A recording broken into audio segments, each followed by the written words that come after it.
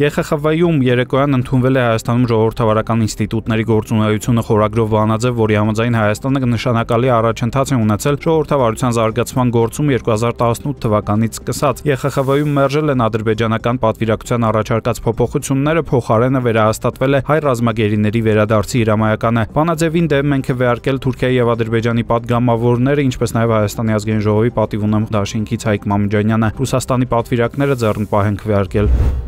Արտաքին գործերի նախարար Արարատ Միրզոյանն այսօր Եռաբլուրում ասել է, որ Բաքուն դեռ չի հստակեցրել սահմանազատման հարցով առաջարկներից, որն է իր համար անընդունելի։ Միրզոյանի խոսքով փորձում են բարձաբանումներ ստանալ, թե հատկապես որ մասն է անընդունելի, ինչ հիմնավորմամբ եւ ըստ այդմ ինչպիսի նոր լուծումներ կարող են լինել։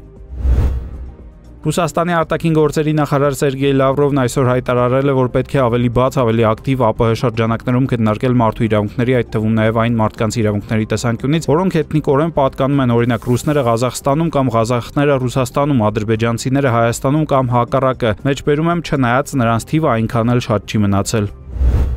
Արցախի նախագահ Արայիկ Հարությունյանը հայրենիաց պաշտպանի օրվա կապակցությամբ ընդունել է Արցախի ազատամարտիկների միության մի խումբ անդամների եւ հայրենիքի պաշտպանության գործում ունեցած նշանակալի ավանդի համար ապարգևատրել նրանց պետական ապարգևներով։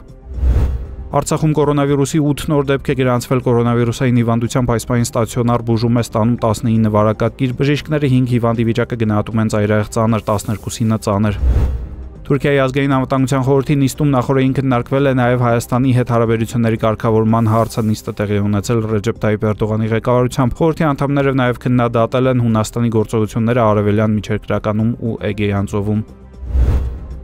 Բաղդադի միջազգային օթանավակայանն օթից հարձակման է ենթարկվել, առնվազն 6 հրթիռ է խոցվել եւ ընկել թռիչքուղու վրա։ Արդյունքում վնասվել է ինքնաթիռներից մեկը, որը գտնվել է կայանատեղիում։ Պատասխանատվությունը որևէ խմբավորում իր վրա դեռ չի վերցրել։